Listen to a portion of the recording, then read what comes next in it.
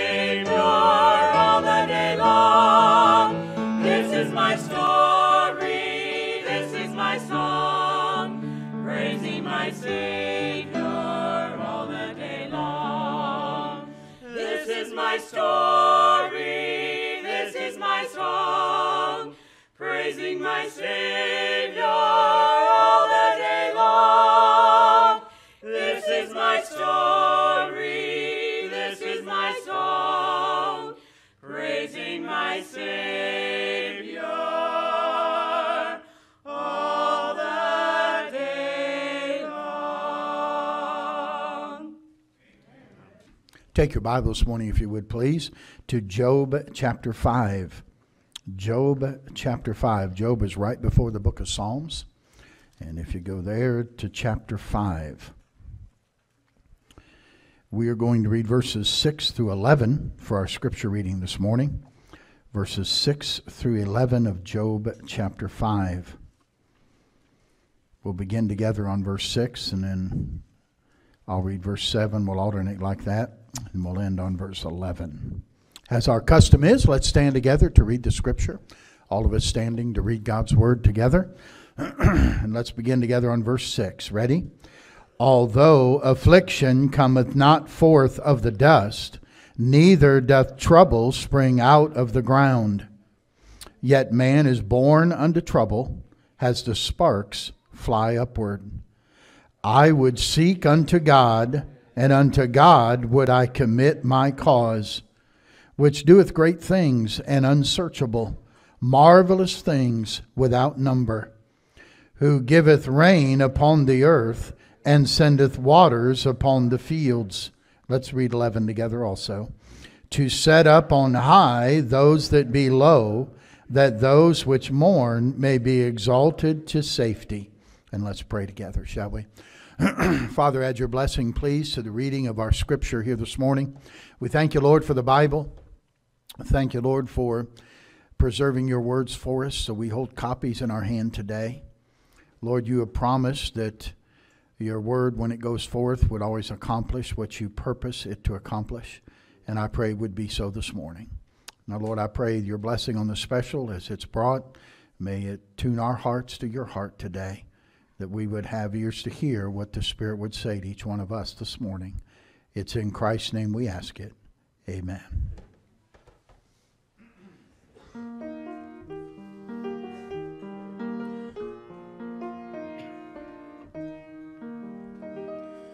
When I think of how he came so far from glory, came and dwelt among the lowly, such as I, to suffer shame and such disgrace. On Mount Calvary, take my place. It's then I ask myself this question Who am I? Am I that a king would bleed and die for? Who am I that he would pray, Not my will, thine for? The answer I may never know. Why he ever loved me so, that to an old rugged cross he'd go, for who am I? When I'm reminded of his words, I'll leave thee never. Trust in me, I'll give to you a life forever. I wonder what I could have done to deserve God's only Son to fight my battles till they're won. For who am I? Who am I that a king would bleed and die for? Who am I would pray, not my will, thine for? The answer I may never know. Why he ever loved me so, that to an old rugged cross he'd go, for who am I? The answer I may never know. Why he'd ever love me so, that to an old rugged cross he'd go. For who am I? Amen. That's good. Now, Father in heaven, we bow before you in prayer as we come to the preaching of your word this morning. Lord, I'm asking for your help as I bring the message today and for the help of the people as they listen this morning. Lord, I pray you'd help us to focus our minds on the Word of God and Lord, we each, with the best we know how, would yield ourselves to you and ask you to speak to our hearts this morning. This is the only Sunday morning message on November the 26th, 2017, that we're going to hear. And so, Lord, we want you to help us. We want you to minister to us. We would like you to, as the great potter, and we're the clay, put us on the potter's wheel this morning and mold us and fashion us and shape us into vessels of honor for you. And use the Word of God and the truth we bring this morning to help us in that endeavor. And I'll thank you in advance for what I believe you'll do in each one of our hearts. In Jesus' name I ask it. Amen. Notice with your Bibles open at Job chapter 5, verse number 7. Yet man is born unto trouble as the sparks fly upward. And I'm going to talk to you this morning on that subject born unto trouble.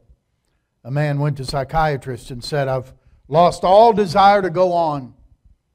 Life's too hectic, too much pressure. I'm overwhelmed. I can't take it.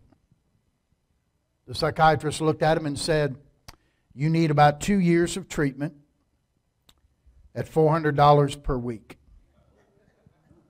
The man looked at the doc and said, Well, that solves your problems. Now, what about mine? Isn't that the truth? Someone said, If you want to forget all your troubles, if you want to forget all your other troubles, wear tight shoes for a day. How many ladies say amen to that? Huh? Yeah. Troubles. Job said, Man is born unto trouble. The psalmist David wrote, that I walk in the midst of troubles. Paul in the New Testament said, I'm troubled on every side. Job said, We're just a few days and full of trouble. Most of us can relate in our life to troubles. We close our radio broadcast every day with, Be good to everyone because Everyone's having a tough time. Troubles. Troubles. There's no one here this morning that can say, I'm sure glad I could testify in my life I've never had any trouble. Unless maybe you're under six years of age. Maybe that's a trouble free life. I don't know. With our kids, it wasn't. Our one, one child we had, he, and I think until he was about seven, he thought his name was No. But, uh, no. No. So maybe, maybe it's not so trouble free. But, you know, uh, we all like the sea of life to stay calm. We all like the days to be sunshine. But when the sea gets rough and the waves get choppy and mean and the clouds of trouble roll in, the thunder and the lightning begins, trouble is there. And I don't know everybody this morning, but I, I know people enough to know this that I'm talking to people today that are having marriage trouble. I'm talking to people this morning that are having financial trouble. I'm talking to people having physical trouble. I'm talking to people this morning that have relationship trouble. I may be talking to people that have employment trouble. But people have troubles. People have trials they're going through. You are a few days and full of trouble.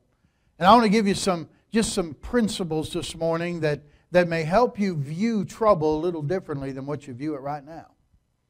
And, and let me give you the first one this morning is this. Number one, God uses trouble to produce greatness. God uses trouble to produce greatness. Billionaire W. Clement Stone during the 1929 Wall Street crash, got down on his knees, thanked God he was alive and that he still had his family. And then he said, and then I moved on. Troubles. Henry Ford said, problems only exist for solutions. Cervantes wrote Don Quixote while he was in jail. John Bunyan wrote Pilgrim's Progress while he was in jail. When Thomas Edison invented the phonograph, he was almost completely deaf. It used to amuse him that other people had to shout to talk to him. You know what he said? A man that has to, the man that has to shout can never tell a lie. you know, you go through the Bible. Abraham had troubles. I mean, think about trouble with Lot, trouble with Hagar, trouble with Ishmael, but he was called the friend of God. Jacob had trouble. In fact, his name is supplanter, trickster, deceiver. But, but he would be renamed Israel because as a prince, he had power with God. Moses had his troubles, lost his temper, murdered an Egyptian, got angry and smote the rock but you know, God took Moses and gave Moses a private burial he never gave anybody else. You keep going through the Bible and you can read about Elijah or David or Job or Jeremiah or Daniel or Peter or Paul. And by the way, those are all names that, that you would know and they're, they're familiar to us because if we said, Name me some of the great people of the Bible, you would name these people. But I would say to you that God used trouble to fashion them into great people. How many of you ever are familiar with the name Lee Roberson? Anybody? Several of you are in here. Lee Roberson was a pastor for years. He's in heaven now. But for years, he was pastor in the uh, 60s, 70s, early, into the early 80s. For 40 years, he was pastor at uh, Highland Park Baptist Church in Chattanooga, Tennessee. Understand this. For, for 40 consecutive years, he baptized, their church, he baptized a thousand, at least a thousand people every year for 40 consecutive years. That's just unbelievable to me. That's amazing. A tremendously blessed man of God. Wrote many books and has many sermons in circulation. But when he was young, starting out in the ministry, he was away preaching in a meeting when he got a phone call to come home immediately that his two year old daughter had passed away. No explanations. She'd been healthy. They had no, no, no reason as to why. She simply quit breathing.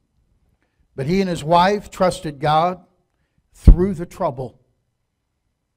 In fact, after the funeral service, he returned back to the meeting where he was preaching and finished the meeting. In those days, which would have been in the 1950s, um, you didn't have three day revival meetings. You had three week revival meetings. And uh, the evangelist came to town and he'd stay for three weeks a month. Oftentimes, an evangelist would go to an area and where there was no church. And sometimes they'd stay for three weeks, four weeks, six weeks. And at the end of that time, the believers who'd been saved and baptized would form a church. And they'd leave with a church there when before there wasn't any church. And so he went back and finished the meeting, but then when he came back to Chattanooga, he and his wife bought some land and they started a church camp. And they called that camp Camp Joy after their daughter. And through the years, they never charged anyone to go to camp there. Anybody could come there free of charge. And, and before he died, there had been 15,000 boys and girls that had come heard about Jesus Christ and received him as their Savior before Lee Roberson had went to heaven. You see, God used trouble to fashion something great. You know, many of the songs you sing in your hymnal were born out of trouble, fashioned out of trouble. You know, if there was no trouble, you wouldn't have it as well with my soul. That was as a result of a man losing his children Without trouble, there'd be no one ever cared for me like Jesus. That was a result of Charles Weigle, a young evangelist, and his wife leaving him, wanting nothing to do with Christ, nothing to do with the ministry, nothing to do with God. Without trouble, there'd be no I surrender all. Without trouble, there'd be no Jesus, keep me near the cross. Without trouble, there'd be no rescue the perishing or, or face to face with Christ my Savior or all the way my Savior leads me. You see, Fanny Crosby, had she not been blinded at six months of age by the mistake of a doctor, by her own confession, she said, I may have never written those hymns. So she would thank God that she was blinded. In fact, she thanked God that she was blinded, not only so she could write these hymns, but she said, The first face I'll ever see will be the face of my Savior when I see him face to face. Trouble is simply the window through which we get to watch greatness. Trouble. Let me give you statement number two. Trouble magnifies God's power. Look at Psalm 50, would you please? Psalm 50. You're in Job. Just go to the book of Psalms right after the book of Job. And look with me at Psalm chapter 50, the 50th Psalm. Notice what Psalm 50 and verse 15 says. and call upon me in the day of what church? Trouble. And I will deliver thee, and thou shalt glorify me. Trouble gives us an opportunity to magnify God's power.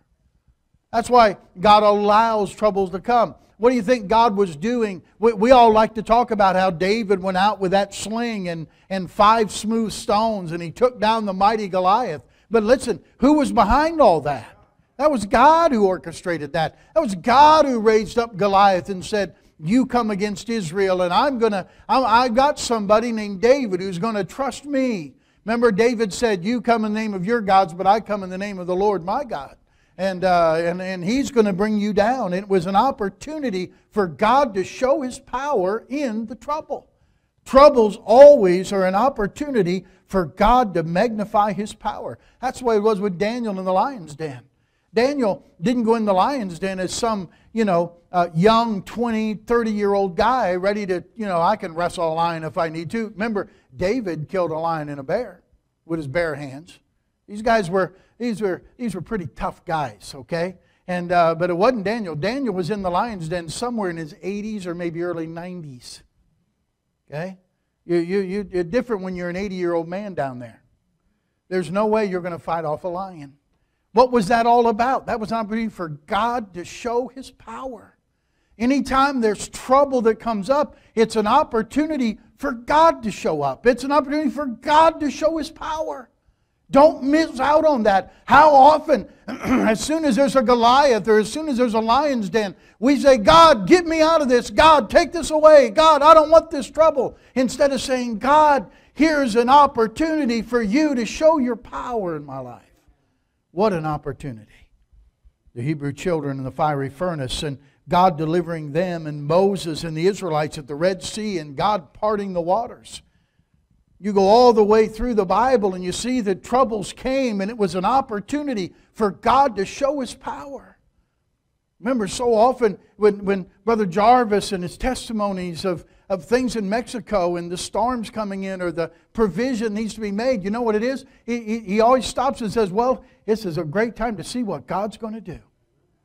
This is an opportunity to see what God's going to do. When you have the bills that come due, when you have a sickness that comes upon your life, or you have a marriage that's, that's struggling, or you have a wayward child that's away from God, then, then you say, Man, eh, eh, you're having difficulty at your job or difficulty in your family, and you say, Man, I don't know what I'm going to do. I don't know what's going to happen. I just feel like it's too much for me to handle. Listen, then look to God because it's an opportunity for Him to show His power. What an opportunity. God still has power. It's not your power that'll get you through, it'll be His power that'll get you through. The songwriter wrote, Through it all, through it all, I've learned to trust in Jesus. I've learned to trust in God. Through it all, through it all, I've learned to depend upon His Word. Listen, if you never, if I never had a problem, I wouldn't know that God could solve them. I wouldn't know what faith in God could do. You see? You'd, you'd never know if it weren't for trouble. So, trouble's an opportunity to magnify His power. Trouble produces greatness. Number three, look at Psalm 46. Would you turn there with me, please? Psalm 46, and notice with me verse number one. Psalm 46, verse 1 God is our refuge and strength, a very present help when? In trouble. God's a very present help in trouble. Run to God in the trouble. Number three, run to God in your trouble. So often in trouble, you know what people do? They don't run to God, they run away from God. They don't run to the things of the Lord, they run away from the things of God running away from the very person who could help them. That's God. You remember when Hezekiah got a threatening letter, and he took that letter, and everybody was afraid of the impending attack. And Hezekiah, the Bible says, went to the temple and spread that letter out before God and got on his face, and he, and he took it to the Lord. He's a very present help in time of trouble. What trouble should you take to God and lay it out before Him and say, Lord, I need your help? Run to your prayer closet. Run to where you meet with God. Run to where you can give it to the Lord. Run to the house of God. Run to the people of God. Run to the Word of God. Don't let trouble cause you to run away from who you ought to run to. Run to God. Sometimes that's, that's the last thing sometimes that, that you want to do, that your flesh wants to do. Sometimes we get so troubled and we're so overwhelmed and we feel so Uh, so buried under that when you say, hey, get your Bible and read it, you know what your flesh says? I don't want to read it. I don't want to take the Bible. I don't want to go to church. I can't face anybody. I can't go in there and look at everybody. But that's exactly what you need. It's exactly what the Lord would have you to do. Don't let trouble stop you. Don't let trouble sidetrack you. It may knock you down, but it doesn't have to knock you out. It may knock you down, but it doesn't have to knock you out. Go to God. Troubles produce greatness, troubles magnify God's power. Run to God in your trouble. Number four. Look in the New Testament with me, will you please? At 2 Corinthians chapter 1. 2 Corinthians chapter 1.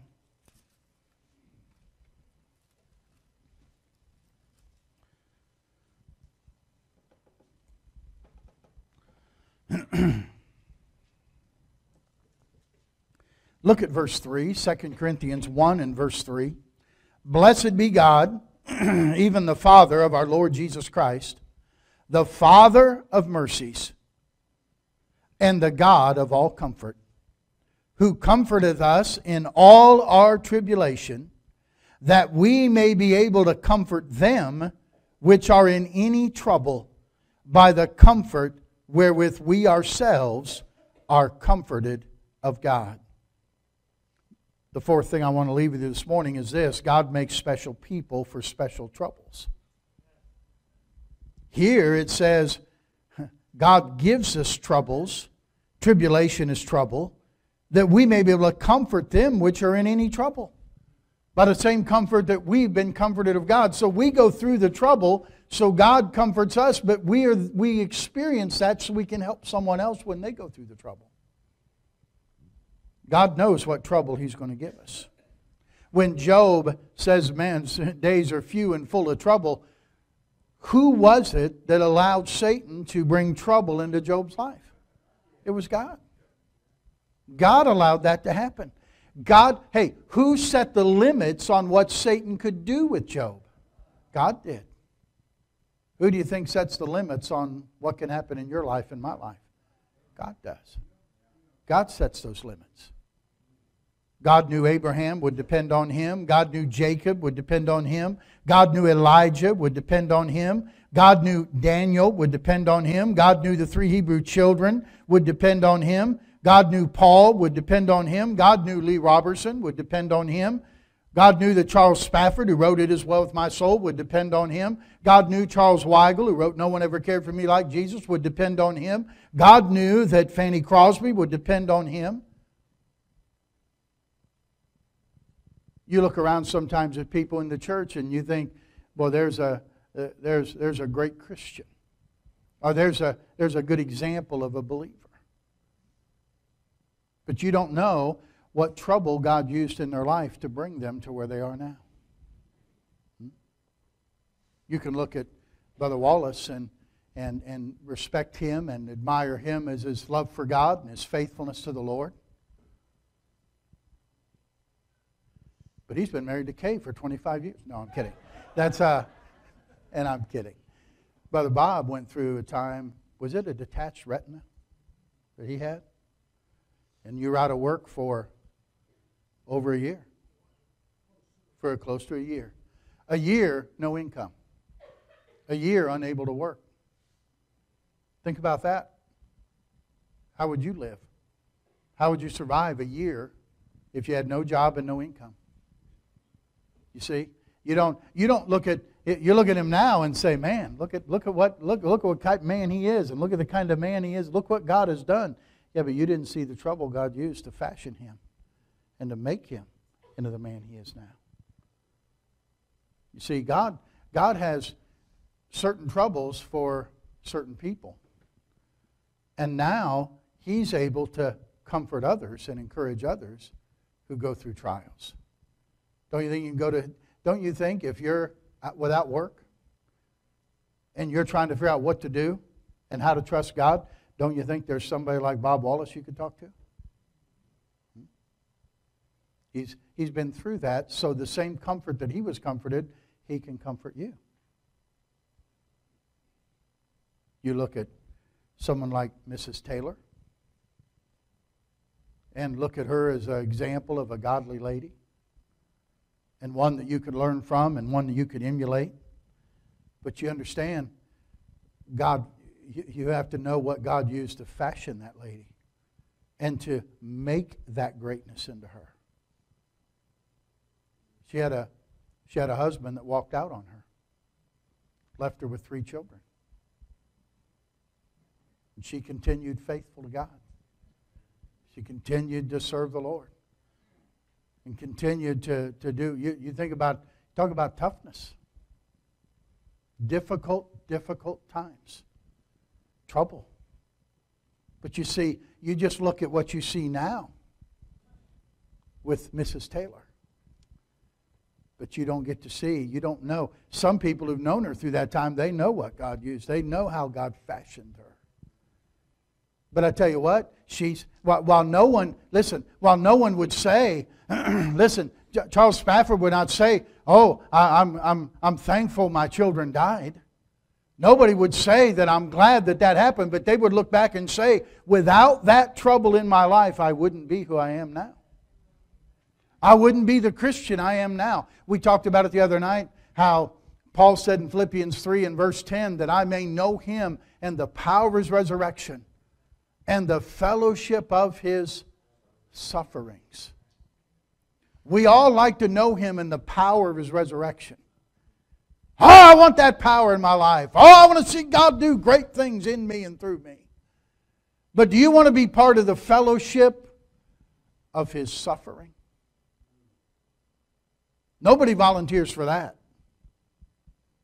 Lord, let me suffer so I can have a fellowship with you that very few have. But that's how you get a Fanny Crosby.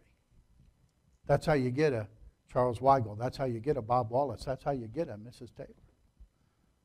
And there's others in this room who've been through similar situations. And you look back and say, that wasn't pleasant. But God used it to make me what I am today, who I am today. With the Apostle Paul, you say, by the grace of God, I am what I am. God brings special trials to special people whom He desires to use in a special way. You know, fruit trees are not found on the mountaintops, fruit trees are found in the valleys. You know, gold is one of the most valuable materials on earth. It's been used for centuries, of course, as money, but it has many other uses in industry, manufacturing, and even in space. One of the traits that makes gold so useful is that it can be shaped and formed so easily. In fact, a single ounce of gold can be flattened out to cover 300 square feet.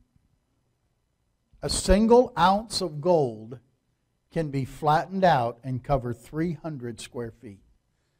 But you know, when gold is dug out of the ground, it contains many other elements that have to be removed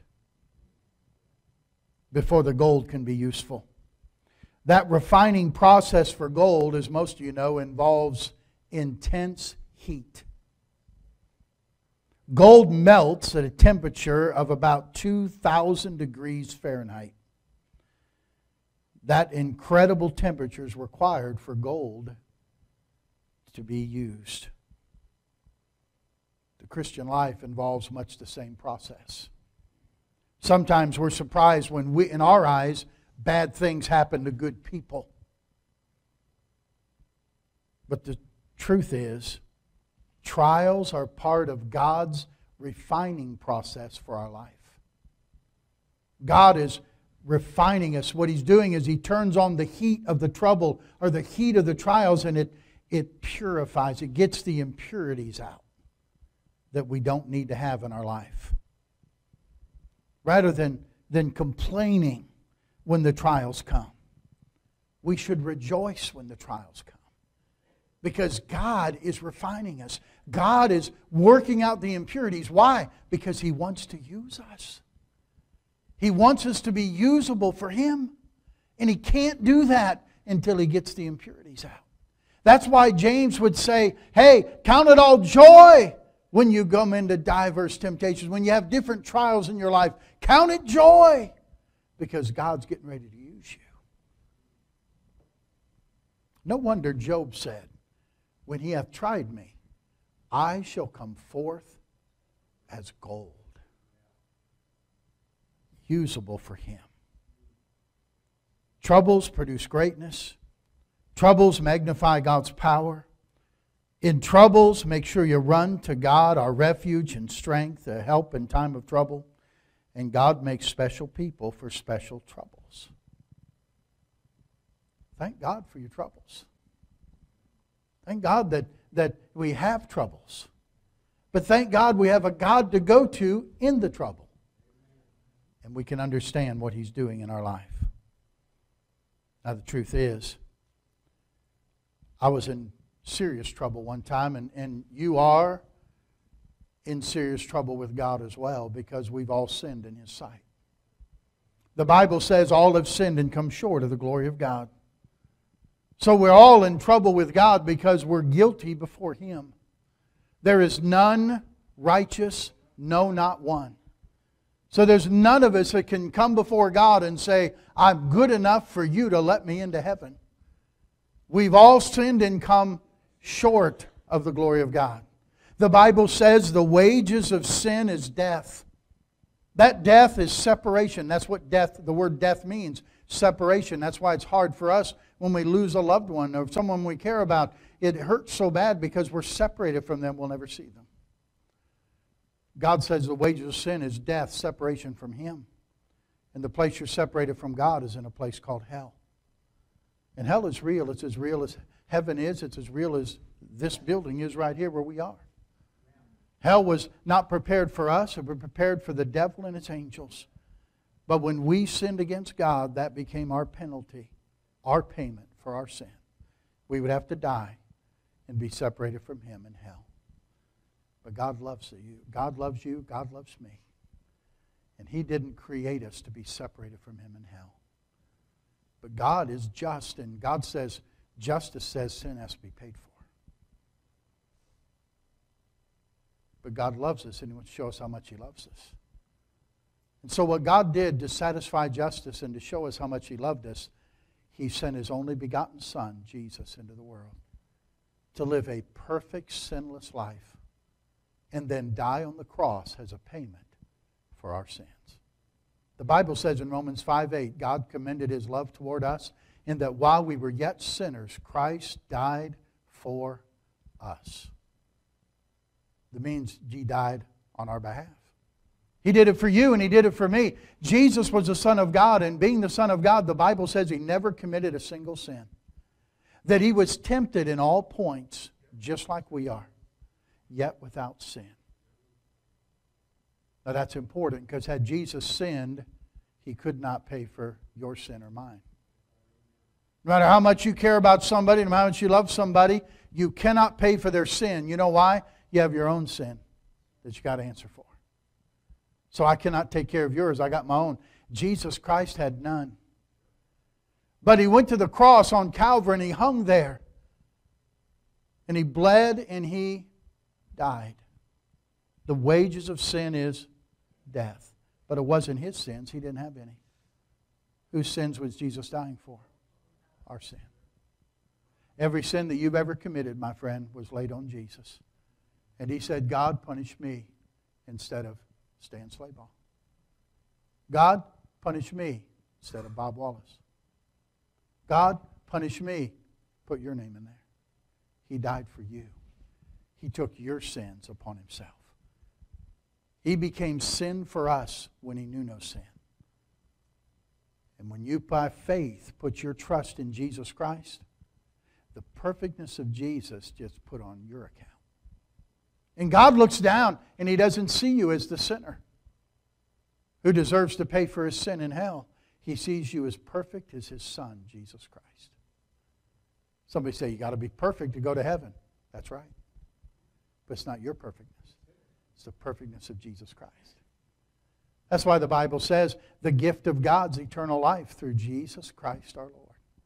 God says, What I want to give you is a gift, and it's eternal life. Now, when he talked about sin, he talked about wages.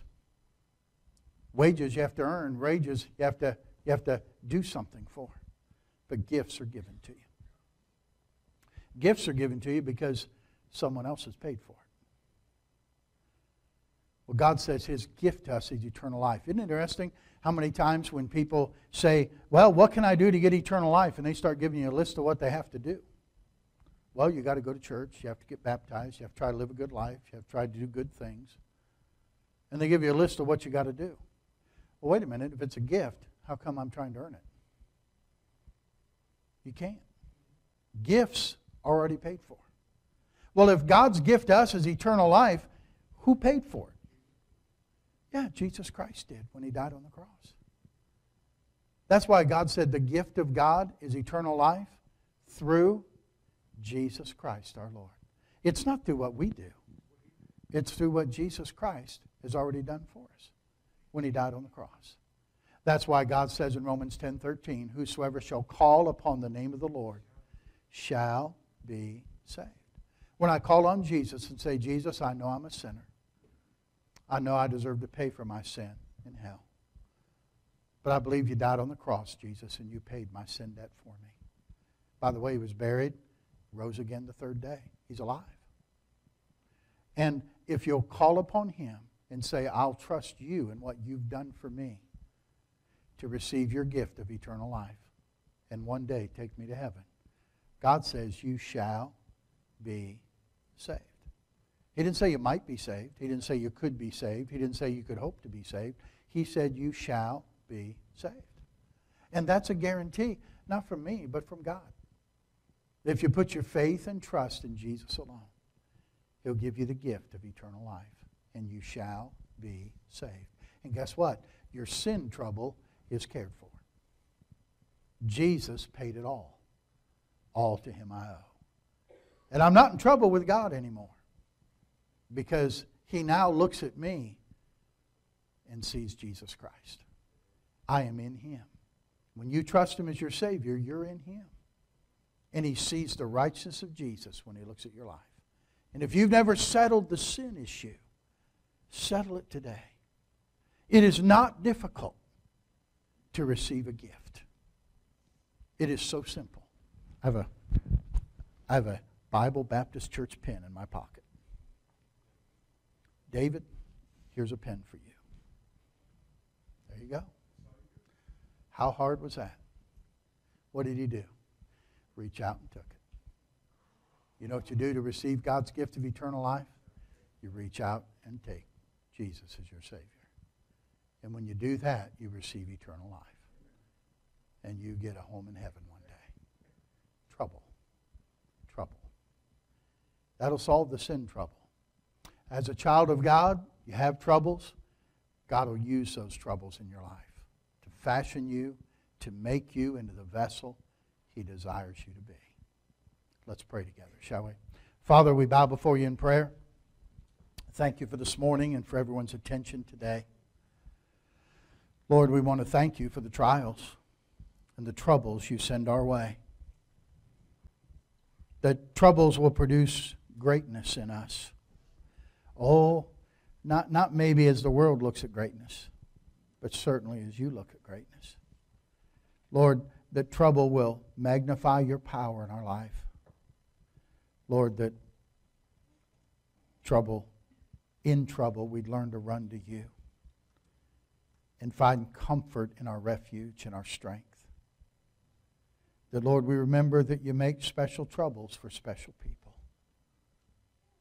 The Lord, as we look at men in the Bible and women of the Bible, they're all people who went through trouble. And we look at people in our congregation, different ones that we could point out that we look up to and we respect and we admire their faith and their walk with God.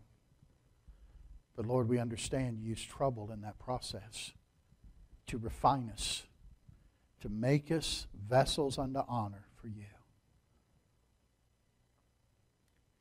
And so, Lord, I pray twofold this morning. I pray you'll use the message to encourage believers, to thank God for their troubles, and allow you to accomplish what you desire in our life through the trouble we're in. And Lord, I pray that you'll help those this morning who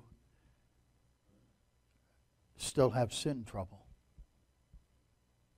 That if they're tired of the load of their sin, to let Jesus come into their heart. That if they desire a new life to begin, let Jesus come into their heart and they'll receive the gift of God, which is eternal life, through Jesus Christ today. That they'll be willing to call on Jesus and trust Him as their personal Savior today. Our heads are bowed, our eyes are closed. I'll finish praying in just a moment. I wonder how many this morning would say, Pastor, there's a time in my life when I knew I was in trouble with God. I realized that I was a sinner who needed a Savior. But I knew and I heard that Jesus was the Savior I needed. And, Pastor, what you talked about this morning was exactly what I did. I knew Jesus died for me, was buried, rose again, that He took my place, that He was my substitute, and that if I put my faith and trust in Him, I'd receive His gift of eternal life. And, Pastor, there was a time in my life when I did that. And I know today, Pastor, if something happened to me, my last breath on earth, my next breath would be in heaven. I know that I'm saved. Pastor, here's my hand as a testimony. Would you slip it up for a moment that I may see it? I know that that that'd be my case. All right, you may put it down. You're here today and would say, Pastor, I don't know that for sure. I don't know if I took my last breath here where my next breath would be, but I'd like it to be heaven, and I think you would like it to be heaven. You say, Preacher, I'm, I'm concerned about it. Would you pray for me? I, will pray for you. Going to embarrass you or call you out, but I'll pray for you. Would you slip your hand up and put it back down and say, Pray for me? Thank you. Anybody else this morning join this? Say, Pray for me. The message was mainly to believers today. Wonder how many believers today would say, Preacher, I'm going through some trouble. I, I understand what Job was saying. My days are few and full of trouble. But, preacher, the, the, the Lord helped me this morning. I've seen some purposes for trouble, seen some things I need to do in the midst of trouble. Pastor, God spoke to my heart this morning. Pray for me today. Would you slip your hand up, Christian? Amen. Amen. That's good. You may put them down.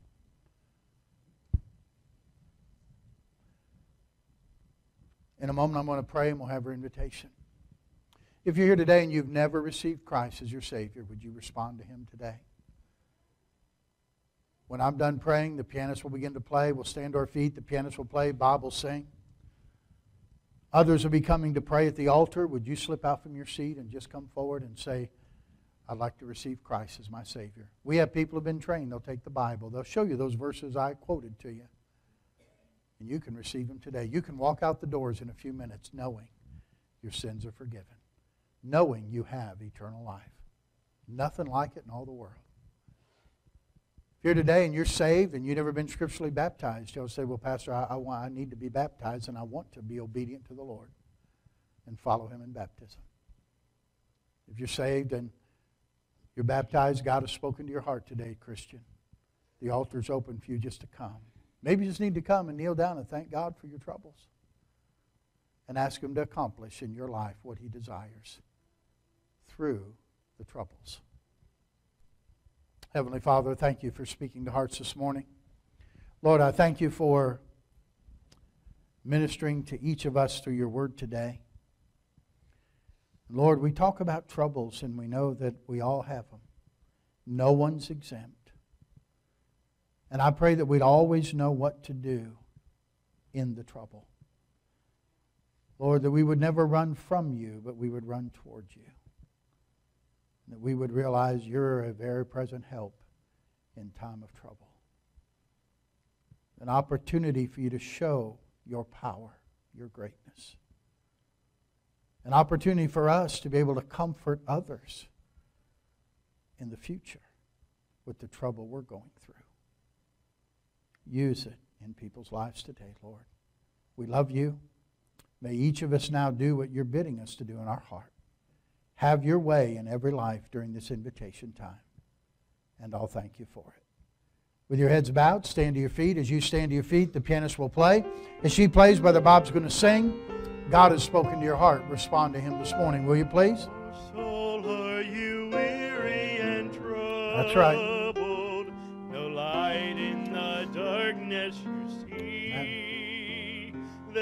There's for a look at the Savior and life more abundant and free.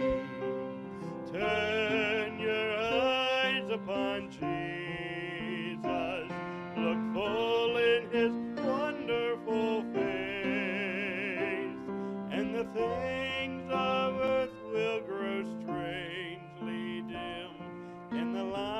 of his glory and grace. Through death into life everlasting, he passed and we follow him there. Over us sin no more hath dominion,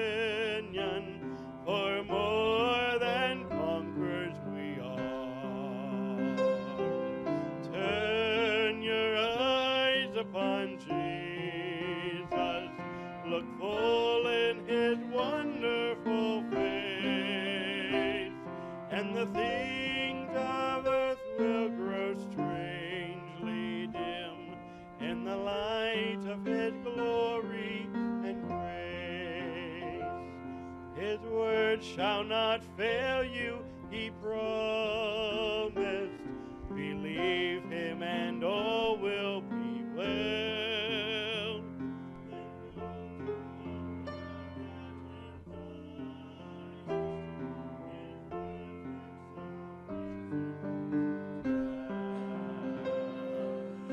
Turn your eyes upon Jesus. Look full in his wonderful face, and the things of earth will grow strangely dim. In the light of his glory and grace. Father, thank you so much for loving us, and Lord, for accepting us as we are, but loving us enough not to leave us as we are. Continue to fashion us, mold us, make us into vessels of honor for you. We desire that whether we eat or drink or whatsoever we do, that we do all for the glory of God. And so, Lord, help us to accept that process that you use in our lives to make us more like Christ that we could glorify you with our life. Dismiss us now with your care, Lord. Give us a good Sunday afternoon. Prepare our hearts what you have for us this evening when we come back for the evening service. It's in Jesus' name we ask it. Amen. I'm so glad I'm a part of the family of God. Brother Bob?